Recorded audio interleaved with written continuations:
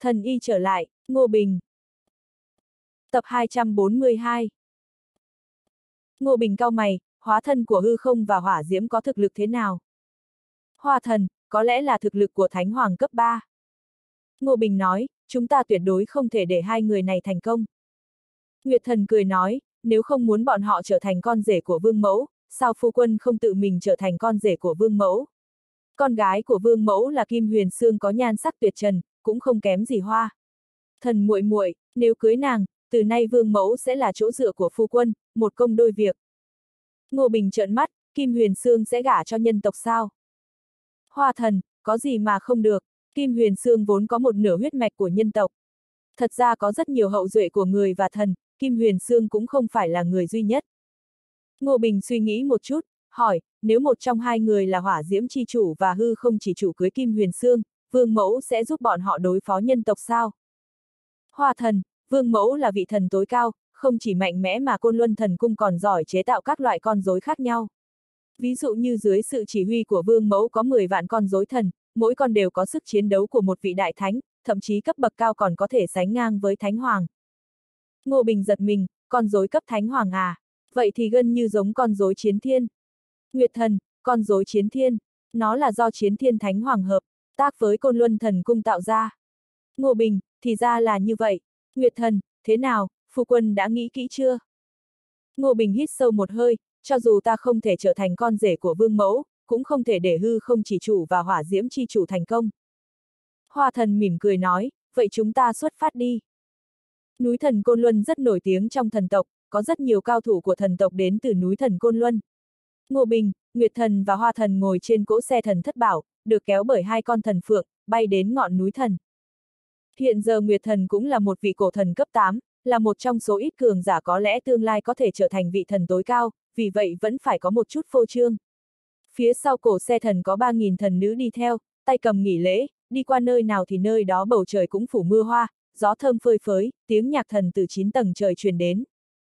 Xe thần đi đến đâu, khi có thần tộc nhìn thấy thì đều dừng lại và cung kính làm lễ, bày tỏ sự cung kính với Nguyệt thần. Ngô Bình ngồi ở giữa xe, bên trái là Nguyệt thần, bên phải là Hoa thần, cười nói, Nguyệt thần lão bà, xem ra địa vị của ngươi ở thần tộc cũng không thấp, có phải là trước khi vương mẫu được thăng chức, địa vị của các ngươi cũng như nhau không? Nguyệt thần, dù sao ta cũng mới lên chức, còn vương mẫu lại là cổ thần cấp 8 cao cấp, vẫn có chút tranh lệch. Hoa thần, sau này tỷ tỷ nhất định sẽ trở thành cổ thần tối cao. Ngô Bình hỏi, cổ thần tối cao có phải là tồn tại cấp số của cường giả kỷ nguyên không? Nguyệt thần, ừ, chúng ta đã vượt qua ngưỡng đó rồi. Tuy nhiên, cổ thần tối cao chỉ là một thuật ngữ chung chung, thực ra ở bước đó còn có những bước tu hành cụ thể lúc này, một cỗ xe rồng do chín con rồng khổng lồ kéo từ phía sau đi tới. Ngồi trên xe rồng là một người đàn ông của thần tộc, khí thế mạnh mẽ, cười nói, Nguyệt thần điện hạ, hoa thần cô nương, đã lâu không gặp. Nhìn thấy vị thần tộc này, Nguyệt thần mỉm cười và nói, kiếm thần các hạ. Hoa thần quay người đi, không chào đối phương một tiếng, kiếm thần khẽ mỉm cười hỏi, hoa thần cô nương, ta có thể đi cùng hai người được không? Nguyệt thần, phu quân của ta ở đây, không tiện mời ngươi tới ngồi. Kiếm thần đã sớm chú ý tới Ngô Bình, lúc này mới cẩn thận nhìn anh, nói, đây chính là vị thánh hoàng của nhân tộc đó sao? Nguyệt thần, là phu quân của ta, Lý Huyền Bình. Hoa thần cố ý ôm lấy một cánh tay của Ngô Bình, áp mặt vào ngực anh. Cảnh tượng này khiến kiếm thần tức giận, ba thước lửa thần phun ra từ mắt và mũi hắn ta. Một nhân tộc thì có tài đức gì mà dám cướp đi trái tim của Nguyệt thần và Hoa thần. Ngô Bình quay đầu nhìn đối phương, hắn ta chỉ là một cổ thần cấp 5, không đáng nhắc tới, anh cố ý hỏi, người ghen tị à? Sắc mặt của kiếm thần tối sầm lại, sát khí dâng trào trong mắt hắn ta. Nguyệt thần cảnh cáo hắn ta, kiếm thần, thu hồi sát ý của ngươi đi, nếu không ta sẽ là người đầu tiên giết ngươi. Thần tộc chú ý đến cấp bậc, Nguyệt thần có cấp bậc cao, đương nhiên kiếm, thần không dám cậy mạnh làm bậy, hắn ta hừ một tiếng, thúc giục cỗ xe rồng đi nhanh hơn. Khi hắn ta đi xa, Hoa thần nói, kiếm thần chắc cũng đang nhắm tới vị trí con rể của vương mẫu. Nguyệt thần, cái này cũng bình thường thôi, nam tu sĩ nào mà không muốn cưới con gái của vương mẫu. Nhưng hẳn rất có dã tâm, lại còn muốn nhắm vào muội muội. Hoa thần nhẹ nhàng hừ một tiếng, tưởng bởi Ngô Bình chớp mắt, Hoa thần muội muội, hình như ngươi rất chán ghét tên kiếm thần này. Hoa thần, vì tu luyện vô thường kiếm pháp, hắn đã giết chết 17 thê thiếp của mình, còn giết chết con cái của chính mình, không phải là người tốt lành gì Ngô Bình kinh ngạc, vì tu luyện mà giết người thân của mình. Đây là phương. Pháp tu luyện gì vậy? Hoa thần, vô thường kiếm pháp cần phải tu tâm, trái tim nhất định phải tàn nhãn. Nhưng theo ta nghĩ hẳn đã lạc lối rồi. Cỗ xe thần cuối cùng đã đến núi thần Côn Luân, nơi này lớn hơn rất nhiều so với dự đoán của Ngô Bình. Hàng ngàn ngọn núi đan xen với nhau, trong đó có một mạch chính rộng mấy trăm vạn dặm và dài hàng ngàn vạn dặm. Ngọn núi thần khổng lồ này có vô số đỉnh núi, trên nhiều đỉnh núi cũng đã xây dựng cung điện, chứng tỏ có thần tộc đã định cư ở đây để tu luyện. Sau khi bay thêm một khoảng nữa, bên dưới xuất hiện một cái bệ khổng lồ lơ lửng giữa không trung, bên trong có rất nhiều khu buôn bán, rất náo nhiệt. Mà trong bán kính vạn dặm, có 10 vạn cái bệ như vậy. Chúng lơ lửng giữa không trung và bao quanh một ngọn núi thần khổng lồ, chính là núi thần Côn Luân. Nguyệt thần nói, bây giờ còn chưa thể vào núi thần được, trước tiên hãy tìm một chỗ ở. Ngô Bình, không thể trực tiếp đi lên sao. Nguyệt thần, nơi này có võ đài do Kim Huyền Sương bố trí, trước tiên người phải lên trên võ đài đánh bại nàng mới có tư cách cạnh tranh với hư không chi chủ và hỏa diễm chỉ chủ. Ngô Bình nhìn quanh thì thấy một võ đài được dựng ở vị trí dễ thấy nhất, xung quanh có vô số thần tộc đang theo dõi. Vào lúc này, có một người phụ nữ đang đứng trên võ đài, vẻ ngoài của cô ta giống hệt Kim Song Nhi trong ấn tượng của anh. Người này không ai khác chính là Kim Huyền Sương, cô ta lặng lẽ đứng ở nơi đó, đôi mắt đẹp quét qua, dưới võ đài có hơn 10 vị thần tộc đang nằm đó. Tuy chỉ là hóa thân nhưng muốn đánh bại Kim Huyền Sương cũng không phải chuyện dễ dàng. Thấy Ngô Bình ngơ ngác nhìn Kim Huyền Sương, Nguyệt Thần cười nói, xem ra phu quân rất thích Kim Huyền Sương. Ngô Bình nói, ta thử xem. Anh bay lên võ đài, một lực rất lớn ập đến, muốn hất anh ra khỏi võ đài, nhưng anh đứng rất vững, cơ thể thậm chí không lắc lư. Đây là cấm chế do Kim Huyền Sương đặt ra. Nếu người đến đây thậm chí không thể vượt qua được cấm chế thì càng không đủ tư cách để đấu với cô ta. Kim Huyền Sương nhìn Ngô Bình, trong đôi mắt đẹp của cô ta hiện lên một tia nghỉ hoặc, bởi vì lần đầu tiên nhìn thấy Ngô Bình, cô ta đã có một loại cảm giác quen thuộc, giống như hai người đã quen nhau từ lâu, vô cùng quen thuộc. Ngô Bình chắp tay cười, Lý Huyền Bình, xin Kim cô nương chỉ giáo. Kim Huyền Sương rũ bỏ nghi hoặc trong lòng, bình tĩnh nói, ra tay đi. Ngô Bình đột nhiên lao về phía trước, duỗi chân phải vào khoảng không giữa hai chân Kim Huyền Sương, đồng thời cơ thể anh đột nhiên va chạm. Một lực mạnh ập đến, Kim Huyền Sương bị một đòn của Ngô Bình đánh bật ra khỏi võ đài. Các thần tộc xung quanh đang xem náo nhiệt đều giật mình, nhân tộc này mạnh quát Kim Huyền Sương không hề tức giận, cô ta mỉm cười ném một tấm thẻ bài có viết số 27 cho Ngô Bình. Sau khi lấy được thẻ bài, Ngô Bình mỉm cười với Kim Huyền Sương, Kim cô nương, gặp lại sau. Nói xong, anh quay lại xe và bay đến đỉnh chính của núi Thần Côn Luân, nơi xây dựng thần cung Côn Luân. Thần cung vô cùng hùng vĩ, một cung điện khổng lồ đứng sừng sững trên đỉnh núi, phía trước cung điện là một quảng trường khổng lồ, lúc này vô số xe ngựa và thú cưỡi của thần tộc đang đậu ở đây. Rất nhiều người hầu của thần xuất hiện đảm nhiệm việc tiếp khách, địa vị của Nguyệt thần không bình thường nên vương mẫu đã cử dực thiên thần, một trong bốn đệ tử đến.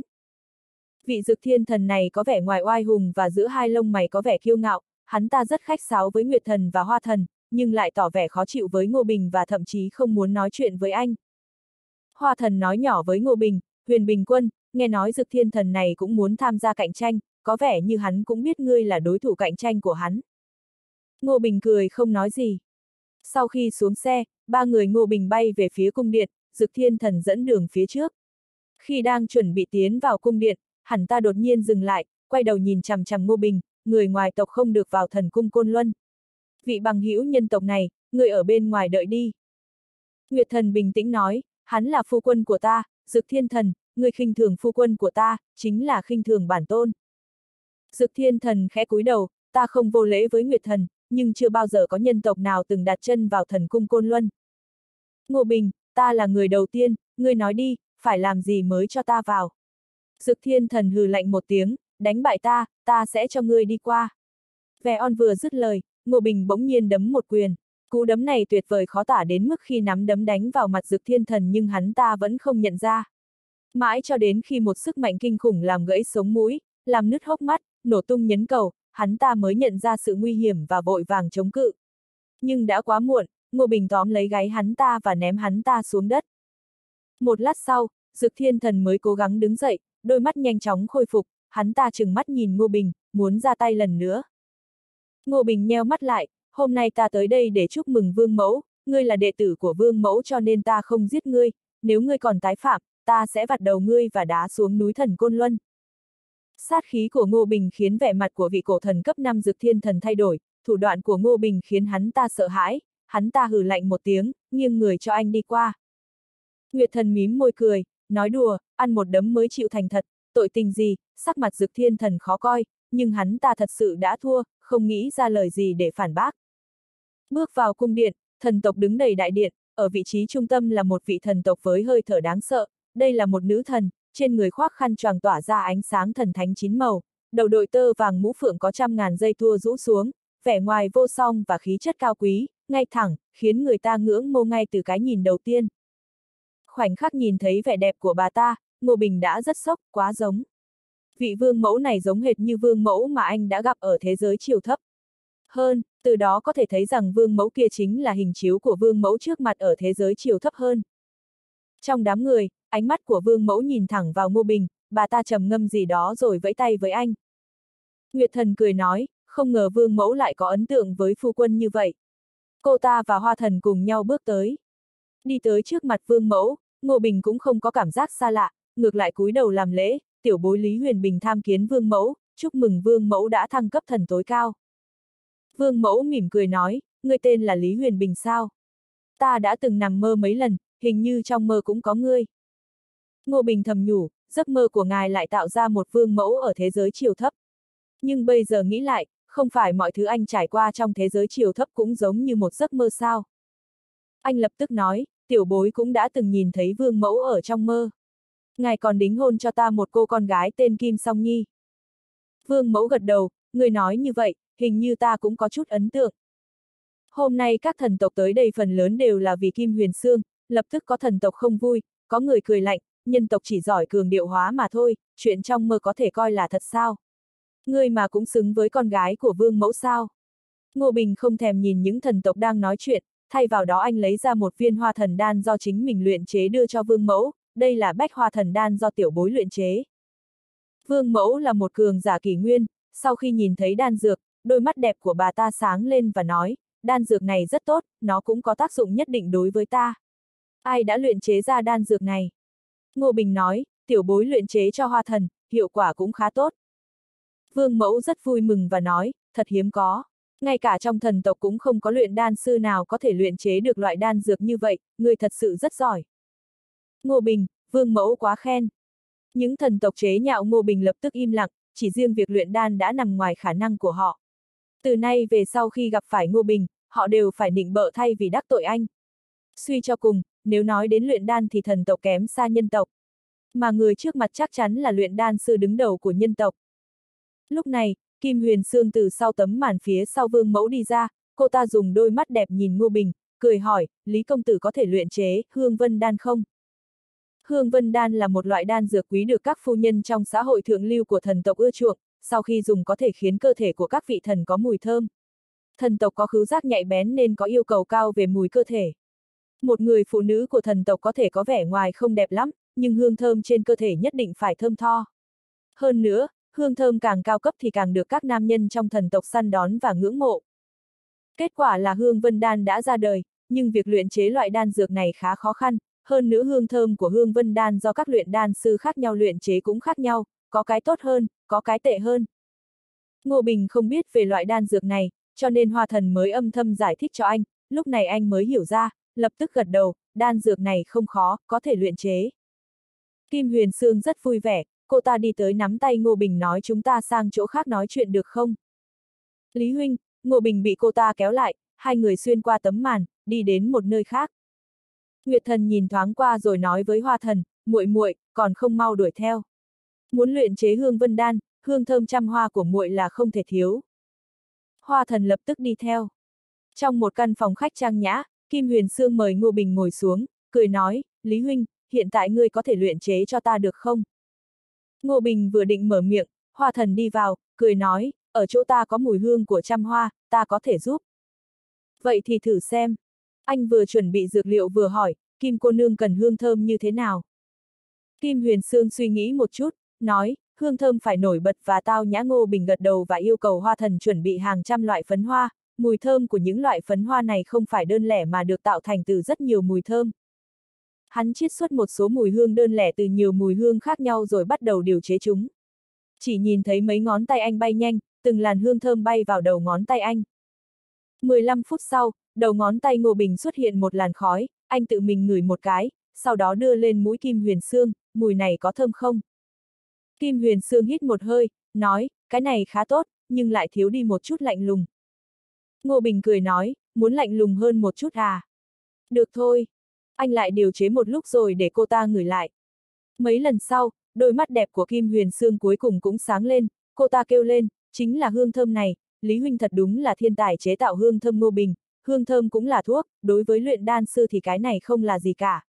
Hơn nữa, chuyện khó khăn hơn còn ở phía sau, ta muốn thẩm thấu những hương thơm này vào trong da thịt, cần phải có đan dược khác hỗ trợ. Sau đó, anh đốt lửa và bắt đầu luyện đan. Audio điện tử võ tấn bền. Hết tập 242